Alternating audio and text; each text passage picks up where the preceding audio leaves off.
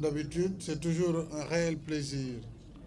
Je me retrouve à Tuawan au cœur de la Tidjania, surtout en cette période symbolique marquant le centenaire de la disparition du vénéré Seydi El Hajj Malik Si, anhu. Je voudrais rendre hommage à son œuvre gigantesque, à l'œuvre de Maudo Malik Si. Tout à l'heure, nous aurons l'occasion à Tuaon de revenir sur la vie et l'œuvre de Sidaj Malik Si. Je salue le calife général Serigne Babakar Mansour et prie pour qu'Allah lui accorde longue vie et bonne santé ainsi qu'il puisse continuer l'œuvre de Mamadou Malik. Je voudrais également renouveler ma compassion mes condoléances au calife, aux familles éplorées et à toute la population de Tuaon suite à l'incendie de l'unité de néonatologie de l'hôpital Mam Abdelaziz d'Abar de Tuaon. Avec la cérémonie qui nous réunit ici, quelques mois après l'inauguration des nouveaux hôpitaux, quelques mois après l'inauguration des nouveaux hôpitaux de Kafrine, Kédougou, Touba et Agnam, bientôt celui de Seyou, nous continuons le travail de construction d'infrastructures sanitaires de haut niveau à travers le pays. Nous restons dans le temps de l'action, le temps de l'équité territoriale et de la justice sociale, le temps du Sénégal de tous et du Sénégal pour tous. Sur ce site sera érigé un centre hospitalier de niveau 3 d'une capacité de 300 lits pour un budget de 46 milliards de francs CFA. Cet hôpital disposera de tous les services médicaux, chirurgicaux et d'aide au diagnostic, le tout aux normes internationales. Cet hôpital, en discussion tout à l'heure avec le Khalif général, portera le nom du vénérable Seydi El Haji Malik Si.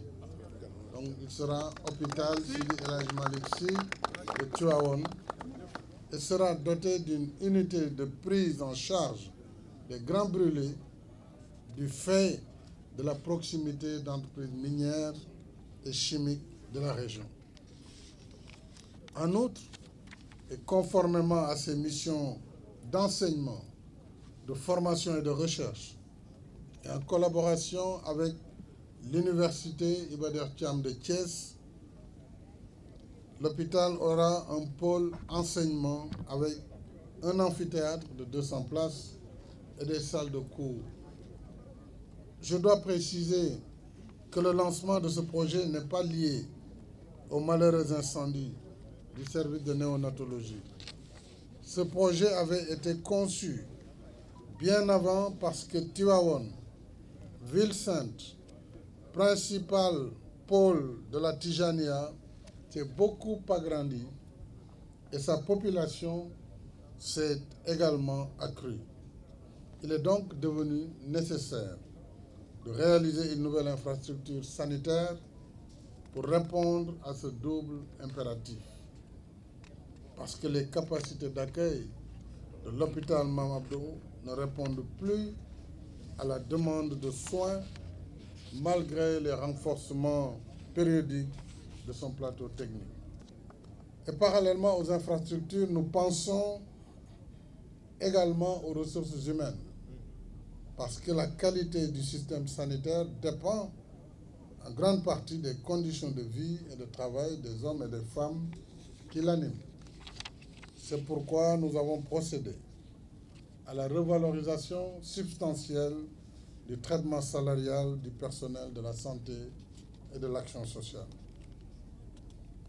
Ce chantier du nouvel hôpital Sidi El Maliksi de Tiwawon que nous lançons aujourd'hui sera délivré clé en main dans un délai de 18 mois, Inch'Allah. Chez Picard, je crois que vous vous êtes engagé là-dessus et je sais que vous allez respecter vos délais. Et je vous ai également demandé au moins un bus pour cet hôpital pour le transport des étudiants entre l'université de Thiès et l'hôpital de Tivaouane, l'hôpital Sidaj Malik Sy. Je voudrais vous remercier d'avance pour cette disponibilité. Il sera donc réceptionné en décembre 2023, s'il plaît à Dieu.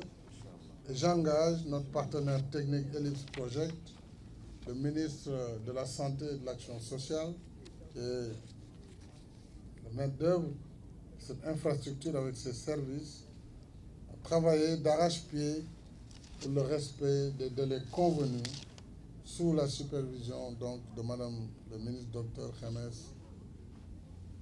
Ndiaye Ngom